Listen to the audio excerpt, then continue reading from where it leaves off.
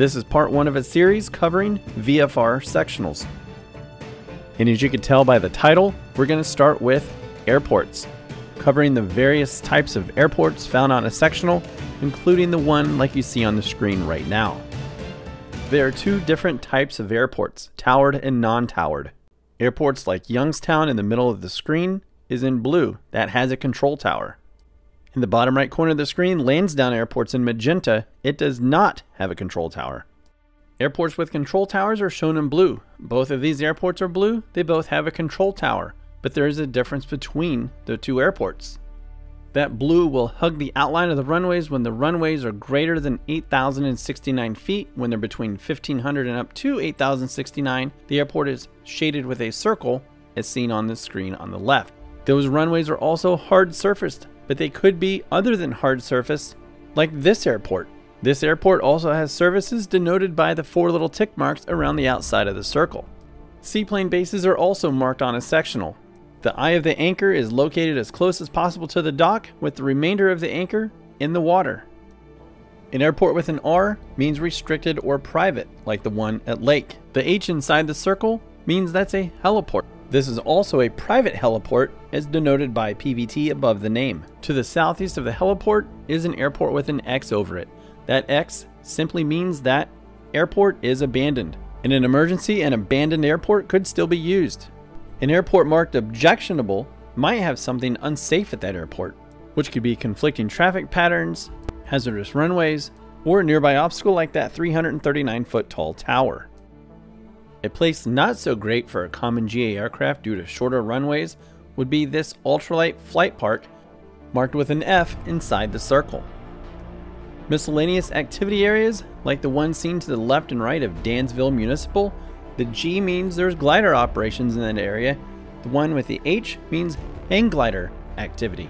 The same symbol with an A over it at this airport means aerobatic practice area. Let's pretend we're doing a flight. We're going to go from Toledo Express in Toledo, Ohio to the east over to Cleveland's Burke Lakefront Airport. Out in the water to the northwest, there's a block of information about Burke Lakefront Airport. Let's break down what each piece of information actually means. Starting at the top of the list, the airport name, Burke Lakefront. Generic parts of the name like airport, field, or municipal are removed unless it's needed to distinguish an airport of a similar name. The location identifier is BKL, but if that were being put into a GPS, since the airport's in the contiguous United States, a K would need to go in front of the location identifier. The control tower frequency is 124.3, that's the primary control tower frequency. Large airports like a Class Bravo might have multiple tower frequencies listed. The star refers to part-time tower operation. The chart supplement will give specific hours of operation for ATC services. When the tower is closed, the tower frequency would be used as CTAF or Common Traffic Advisory Frequency Position reporting would be just like an uncontrolled airport when the tower is closed on the control tower frequency of 124.3. The ATIS report or Automatic Terminal Information Service would be listened to over the radio prior to arriving at the airport and contacting air traffic control. This would give wind information, landing runway, departing runway, and also any possible taxiway closures, as well as other important information about the airport. The elevation of this airport is 584 feet above sea level.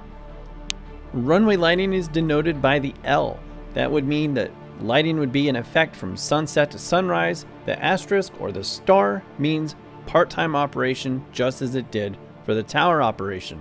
And if you guessed the chart supplement would have more information on lighting limitations, you'd be right. The 6.6 tells us the longest runway in hundreds of feet.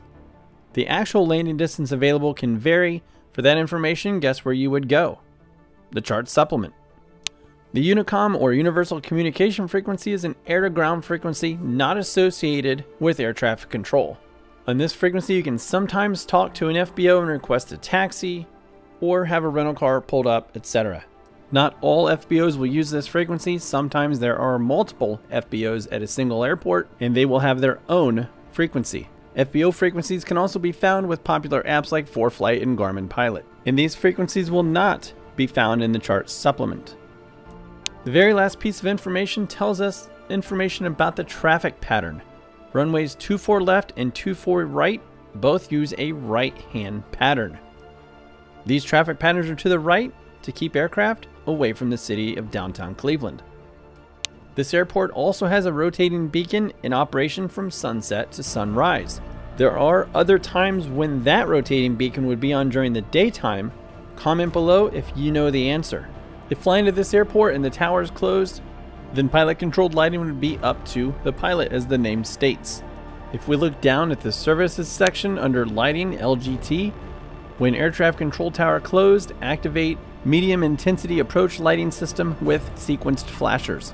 Runway 24 right on CTAF, or the common traffic advisory frequency, which we saw in the sectional, and the lighting for 24 right, just to use in this example, is set to medium intensity to increase the intensity we can request that on the Unicom frequency, which was also on the sectional chart.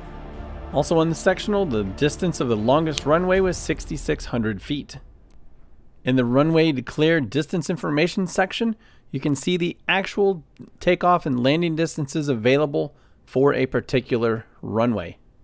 In runway 24 right, the takeoff run available is 6,600 feet as stated on the sectional, but the landing distance available is only 6,003 feet due to a displaced threshold that is 600 feet long. This video did not cover every single type of airport or symbols associated with airports. For more information, consult the FAA's Aeronautical Chart User's Guide, and there will also be a link in the description. Thanks for watching, and be sure to check out these other helpful videos.